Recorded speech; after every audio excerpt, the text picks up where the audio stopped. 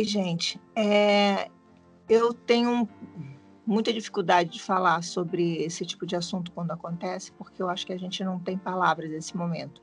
É, eu, como todo mundo, é, nós, todos nós estamos chocados porque a gente tinha muita fé. Eu acho que a nossa fé fica abalada no momento desses, mas a gente tem que se agarrar na fé, a gente tem que acreditar que foi o melhor para ele, para todas as pessoas que estão passando por isso nesse momento com essa doença tão doida mas eu não consigo não parar de pensar no Paulo Gustavo daquele jeito alegre, divertido, é, sempre rindo. Inclusive, hoje eu sonhei com ele me contando duas piadas. Estou tentando tanto me lembrar das piadas. Uma era curta e outra era mais comprida, e ele ria tanto.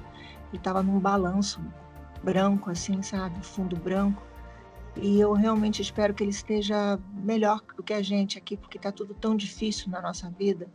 Então, a única coisa que nesse momento eu quero e desejo, já que a gente não a gente, se sente, a gente se sente tão impotente, não pode fazer mais nada, eu gostaria muito que Deus desse força para a mãe dele, para a irmã, para a Ju, para o Thales, para o marido, para os filhos, para os familiares, pros, principalmente para os amigos tão próximos, porque ele era uma pessoa tão querida, tão querida, que os amigos eram família, né? Então, essa família que ele escolheu aqui desejo e o meu maior desejo é que as pessoas tenham muita força nesse momento.